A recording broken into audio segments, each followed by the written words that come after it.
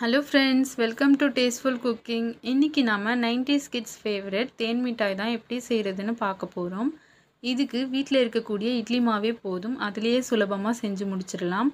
சரி வாங்க. இப்போ இதை எப்படி பண்ணுறதுன்னு பார்க்கலாம். அதுக்கு ஃபஸ்ட்டு நம்ம சக்கரை பாகு ரெடி பண்ணி வச்சுக்கலாம். நான் இன்றைக்கி ஒரு கப் சர்க்கரை எடுத்திருக்கேன். சர்க்கரை மூழ்கிற வரைக்கும் தண்ணி சேர்த்துக்கோங்க. தண்ணி ரொம்ப அதிகமாக சேர்க்க வேண்டாம்.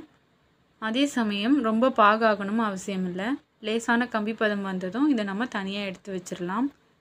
இப்போ பாருங்கள் இது கொதித்ததுக்கப்புறமா நீங்கள் செக் பண்ணி பாருங்கள் பார்த்தாலே தெரியும். இந்த மாதிரி லேசான கம்பி பதம் வந்ததும் இது நம்ம தனியாக எடுத்து வச்சிடலாம். இப்போது புளிக்காத இட்லி மாவு எடுத்துக்கோங்க. அதில் நம்ம கொஞ்சமாக கலர் சேர்த்துக்கலாம். உங்களுக்கு விருப்பம்னா கலர் சேர்த்துக்கோங்க. இல்லை கலர் சேர்க்காமலும் பண்ணலாம். ஆனால் கலர் சேர்த்தா தான் பார்க்குறதுக்கே டெம்டிங்காக இருக்கும். அதுக்காக தான் கூடவே கால் டீஸ்பூன் பேக்கிங் சோடா சேர்த்துக்கோங்க. சேர்த்துட்டு இதை நல்லா மிக்ஸ் பண்ணிக்கோங்க.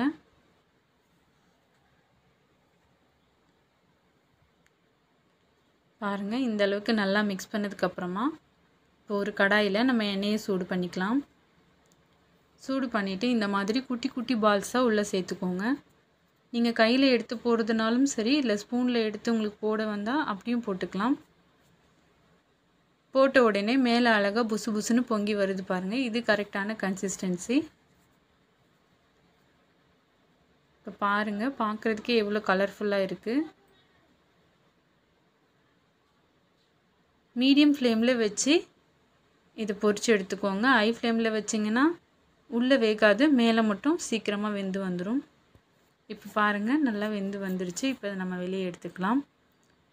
வெளியில் எடுத்துட்டு கொஞ்சம் நேரம் வச்சுட்டு அப் அதுக்கப்புறமா நம்ம சக்கரை பாகில் ஆட் பண்ணிக்கலாம். பாருங்கள் எவ்வளோ சூப்பராக ஊறி இருக்குது பாருங்கள் ஒரு டூ ஹவர்ஸ்க்கு அப்புறமா எடுத்து பார்த்திங்கன்னா இந்த மாதிரி இருக்கும். இப்போ நான் எடுத்து காமிக்கிறேன் பாருங்கள் எவ்வளோ ஜூஸியாக இருக்குன்னு. நீங்களும் கண்டிப்பாக வீட்டில் ட்ரை பண்ணி பாருங்கள் ஃப்ரெண்ட்ஸ் உங்களுக்கு இந்த வீடியோ பிடிச்சிருந்துச்சுன்னா டேஸ்ட்ஃபுல் குக்கிங்க்கு சப்ஸ்கிரைப் பண்ணிக்கோ